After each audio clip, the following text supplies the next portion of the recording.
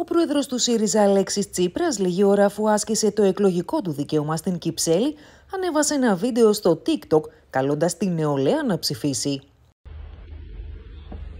Τι έγινε, bro; Πάμε κάλπη σήμερα. Οι άλλοι θα πάνε. Οι άλλοι πάντα πάνε. Ήρθε η ώρα να αποφασίζουμε εμείς για μας. Αξίζει να υπενθυμιστεί πως όταν πήγε να ψηφίσει έτυχε πολύ θερμής υποδοχής από τους παριστάμενους, οι οποίοι φώναζαν εν χορό Νάτος Νάτος ο Πρωθυπουργός, ενώ τον χειροκροτούσαν συνεχώς και αδιαλείπτως.